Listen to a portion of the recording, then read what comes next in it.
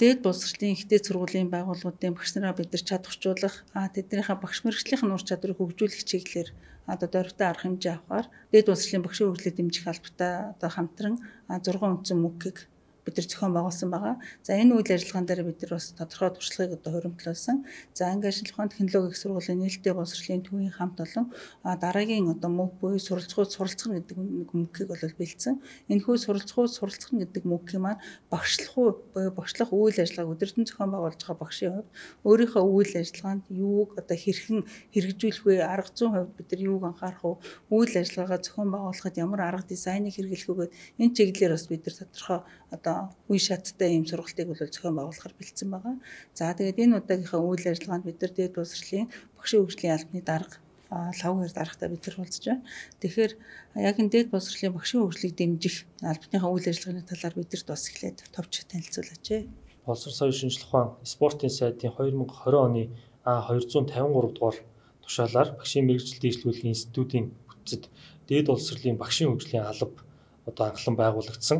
Тэгэхээр өмнө нь бол одоо багшийн мэрэгжлийн институт бол сургуулийн өмнөх боловсрол ерөнхий боловсролын сургуулийн багшийн хөгжил дэмжлэг үзүүлэх үйл ажиллагаа явуулдаг байсан бол 20 оны одоо 9 дугаар сараас ихтэйд сургуулийн багшийн хөгжил дэмжлэг үзүүлэх юм чиг үүрэгтэй одоо нэгж алба байгуулагдсан үйл ажиллагаагаа эхлүүлээд явж байна. За энэ албаны одоо үндсэн чиг үүрэг бол багшийн хөгжлийг дэмжих тухай хуулийн дагуу одоо дээд боловсролын сургалтын байгууллагын багшийн хөгжилд дэмжлэг үзүүлэх одоо олон талтай үйл ажиллагааг зохион байгуулах, тасралтгүй хөгжлийг хангахад одоо дэмжлэг үзүүлэх ийм чиг үүрэгтэйгээр бол ажиллаж байна.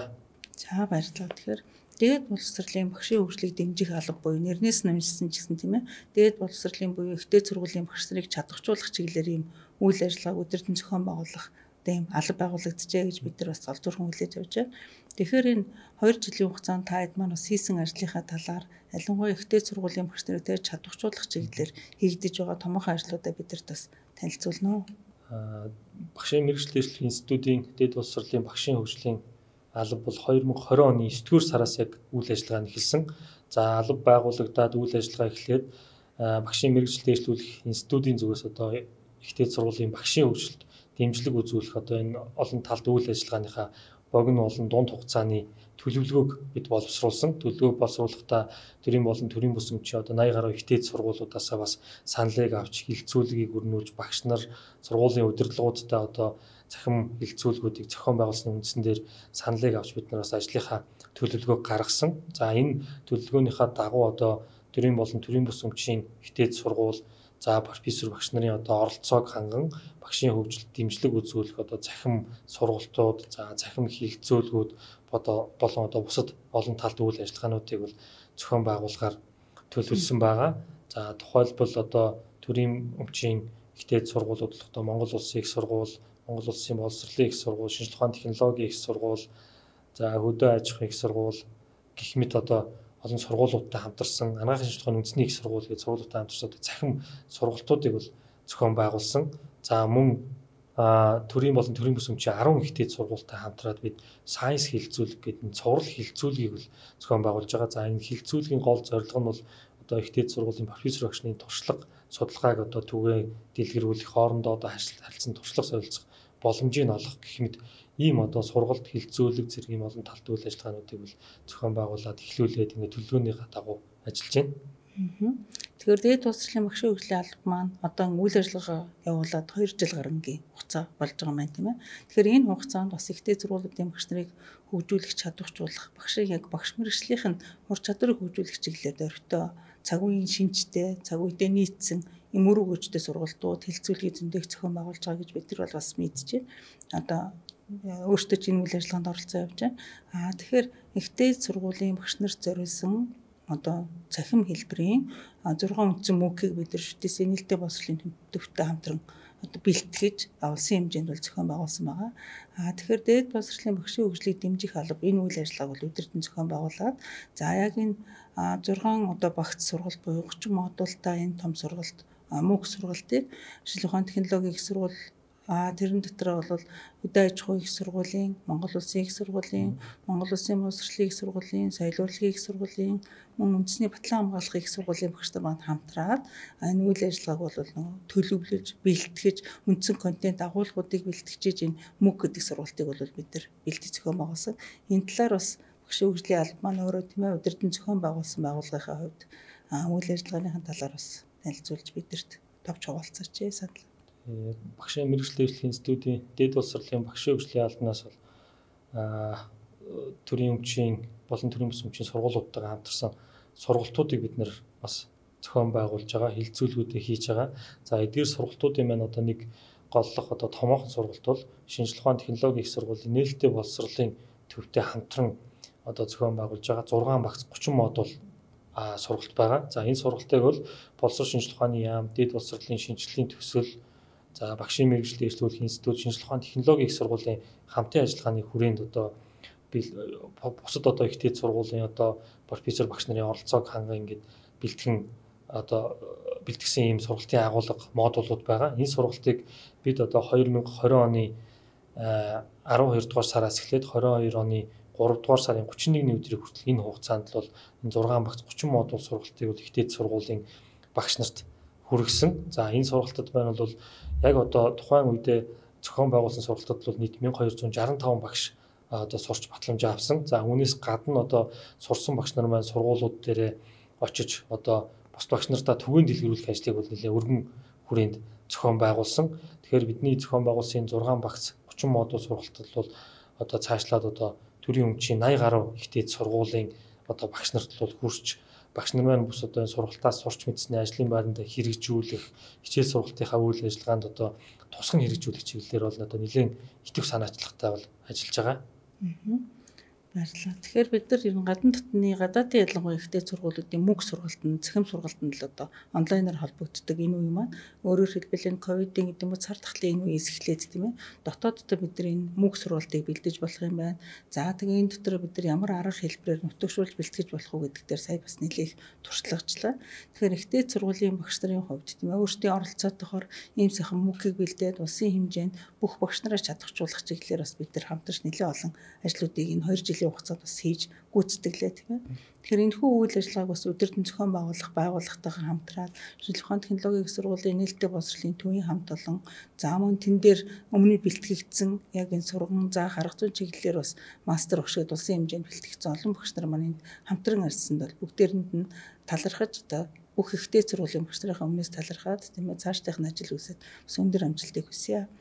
За тэгэхээр энэ сургалтуудад хилцүүлгүүдэд хамрагдаж байгаа ихтэй сургуулийн маань одоо Монгол Улсын өнцөг болмгоорээс хамрагдаж байгаа энэ багш нарын маань хувьд тийм ээ яг багшийн одоо мэрэгжлийг мэрэгжлийг дээшлүүлэх чадварчуулах чиглэлээр энэ үйл ажиллагааг өдөртөн зохион байгуулах гэж байгаа байгуулж байгаа. Танай байгууллага ямар санал хүсэлт ирүүлж байна уу тийм ээ. А өмнө явуулж байгаа энэ олон сургалт хилцүүлийн үр дүнг одоо хэр үр өгөөжтэй байна гэж харж байна. Тэрний ач холбогдол тийм ээ.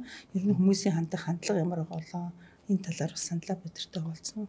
Тэгээ тэгэхээр ихтэй ер нь бол багшийн хөгжлийн, багшийн мэрэгжлийн тасралтгүй хөгжлийн олон улсын чиг хандлага бол багшийн одоо мэрэгжил дээшлүүлэхээс багшийн одоо мэрэгжлийн тасралтгүй хөгжил рүү ялангуяа ажлын байран дээр хөгжих төр хөгжил рүү бол одоо чиг хандлага явж байгаа юм одоо олон улсын судалгаа зүйлүүд байна. Тэгэхээр бидний хувьд л сая одоо жил гарын хугацаанд ялангуяа одоо энэ ковидын нөхцөл байдлын үед бол одоо шинжилгээ ухааны технологийн их сургуулийн нээлттэй боловсролын төвтэйг хамтраад энэ 6 багц 30 модуль сургалтыг зохион байгуулсан 100% цахим хэлбэрээр бол сургалт үйл ажиллагаагаа зохион байгууллаа.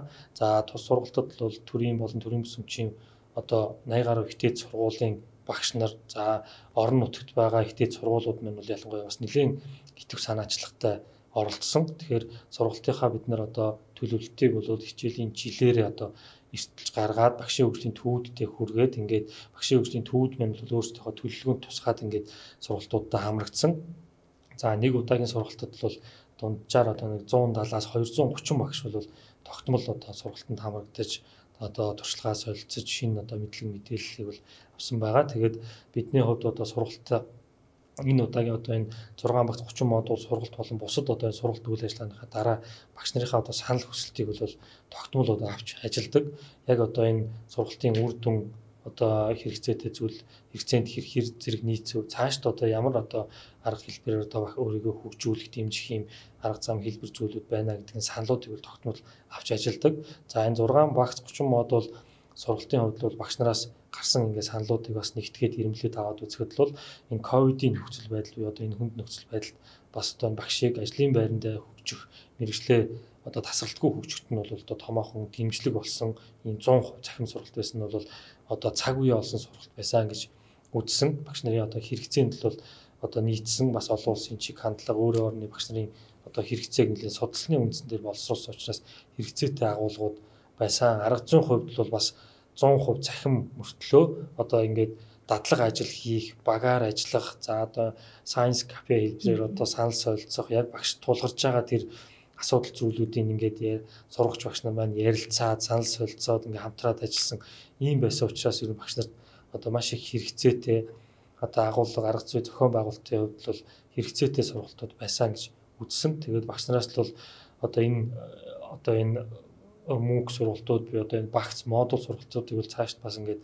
тасралтгүй зохион байгуулах, үе шаттай зохион байгуулах, за зохион байгуулалт арга зүйн хувьд бол бас цахим, танхим хосолсон хэлбрээр зохион байгуулах гэх мэт ийм одоо хэрэгцээ шаардлагууд бол байна гэсэн ийм саналуд бол бас нэлээд гарч байгаа. Ер нь бол ихтэй сургуулийн нийт одоо 2020-оос 21-оос 22 оны хичээлийн жил бол 7143 багш ажиллаж байгаа. За энэ багш нарын хэрэгцээ, шаардлага одоо одоо бол харилцан адилгүй байгаа. Тийм учраас эдгээр багш нарын одоо хэрэгцээнд нийцсэн нээлттэй одоо агуулга модулуудыг боловсруулж одоо багш нарт хүргэх нь бол одоо бас энэ цаг үеийн бас нэлээд шаардлага бас ингээд хэрэгцээнд нийцсэн ийм үйл ажиллагаа гэж одоо бидний хувьд бол үзэж дүгнж байгаа. За баярлалаа. Тэгэхээр дээд боловсролын багшийн хөгжлийн алга бушрал ухаан технологийн сургуулийн нээлттэй боловсролын төвтэй хамтарсан 6 үндсэн модулын бас өр өгөөжийг бид нар дотроо дүгнж байгаа тийм ээ. А нэгдсэн байдлаар таад манай судалгаа дүгнэлт гаргаад ингэж хэлж байна. А өшөө дээрэс нь энэ МΟК-ыг бид нар авах удаа улсын хэмжээнд бэлтгээд маш олон багштад нэгдсэн одоо нэг байгууллагын зүгээс тийм ээ зохион байгуулж энэ үйл ажиллагаа хүргэх гэж нэлээд зорж ажилласан байгаа. За тэгэхээр давуу талууд байна. Бас энэ дээр анхаармаар юм уу цаашдаа бас тэ бусдад одоо анхааруулчмаар тийм зүйл юу байсан болоо. Тий мөнгө сургалтуудын хувьд бол за яг 100% цахим хэлбэрээр зохион байгуулагдаад явсан. Тэгээд за багш нараас гарч байгаа санал зүйлүүдийг харахад бол сургалтын агуулга арга зүйн хувьд бол хэрэгцээнд нийцж байгаа гэж үзэж байгаа. За зарим бас гарсан саналуудаас дурдах юм бол сургалтын одоо цаг болон агуулгыг цагийг одоо жоохон уртсгаад агуулгын жоохон дэлгэрүүлэх шаардлага бас байна. Мөн одоо дадлага ажил хийх те тэр одоо воркшоп хийх хугацааг бас нэлээд жоохон цагийн жоохон нэмэгдүүлэх юм бол биднэрт бас илүү үр дүнтэй байна. Тэгээд зарим одоо сургалтаас захимаар сурсныхаа дараа одоо яг танхим хэлбэрээр бас хэсэгчилсэн байдлаар тий воркшоп хийх, хилцүүлэг хийх ийм үйл ажиллагаануудыг бас зохион байгуулад энэ сурч мэдснээ баттгах хамтран одоо ингээд багш нартайгаа нэг сургуулиас сурсан багш нар хамтраад ингээд сургалт үйл ажиллагаанд тусгах чиглэлийн иймэрхүү бас нэг эргэг холбоотой ажиллах сургалтын дараах тэр үр дүн чиглэсэн ажлууд дээр бас ингээд сурагч багшийн багштай зохион байгуулж байгаа байгууллагын зүгээс ч юм бол ингээд дэмжлэг үзүүлээд ажиллах юм бол одоо илүү одоо үр дүнд хүрэх боломжтой мó гэсэн ийм саналуудыг бол багш нар маань гаргасан байсан. За баярлалаа. Өөрөөр хэлбэл багш нар маань сургалтанд суугаад зөвхөн сонсох тийм ээ тухайн цаг дээр л бичиж тэмдэглэж авахаас илүүтэйгээр тэр сургалтын агуулгыг өөрийн болгох үйл ажиллагаантай хэрэглэхийг зорж тийм ээ ийм санал хүсэлтүүд хэлж байгаа нь бол хин эндээ маш их тийм хэрэгцээтэй сайхан саналууд орж ирж байгаа маань. Тэгэхээр бид нар ч гэсэн цаашдаа тэ хамтран ажиллахад бол бэлэн байгаа. Тэгэхээр дээд боловсролын багшийн хөгжлийн албаар дамжуулаад бид нартай бас хамтран ажиллах юм боломжууд бол нээлттэй байгаа. Ингээд энэ хүн үйл ажиллагааг одоо зохион байгуулж удирдсан дээд боловсролын багшийн хөгжлийн албаны хамт олон за энэ том одоо улсын хэмжээнд анх удаа зохион байгуулж байгаа тийм ээ мөг хэлбэрийн 6 багц мөгийг 2 жилийн хугацаанд бэлдэж тэр контентуудыг бэлдээд тийм ээ зохион байгуулсан нийт одоо багш нартай бас талархал илэрхийлье бүгдэнд нь ажлын өндөр амжилтыг хүсье За баярлалаа. Тэгэхээр энэ сургалт 6 одоо багц 30 модуль сургалтыг одоо нийт багш нарт хүрэхэд хүргэхэд одоо хичээн зүтгэж ажилласан одоо шинжилгээ ухааны технологийн сургуулийн нээлттэй боловсролын төв за сургалтын агуулгыг боловсруулахад ажилласан одоо тэр олон ихтэй сургуулийн профессор багш нар багш нар болон одоо энэ одоо сургалт үйл ажиллагаанд идэвхтэй хамрагдсан нийт одоо төрийн болон төрийн бүсэм чинь 80 гаруй ихтэй сургуулийнхаа багш нарт одоо маш их баярсан талархснаа илэрхийлье. Тэгэхээр сургалтын дараах одоо тэр сургалтаас сурч мэдснээ ажлын байранда хэрэгжүүлэх зан үйл болгох тэр зүйл нь бол одоо энэ сургалт үйл ажиллагааны одоо хамгийн чухал